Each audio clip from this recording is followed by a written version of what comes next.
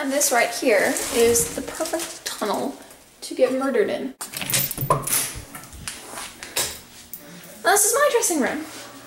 And I can turn on the lights. Boom, those two are burnt out. Look at that. Very professional indeed.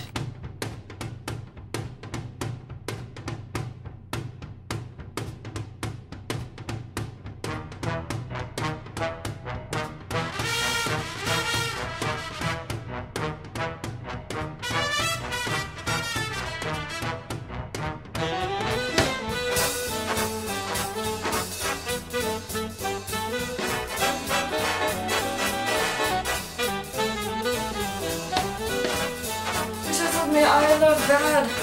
You don't look bad, you look pretty.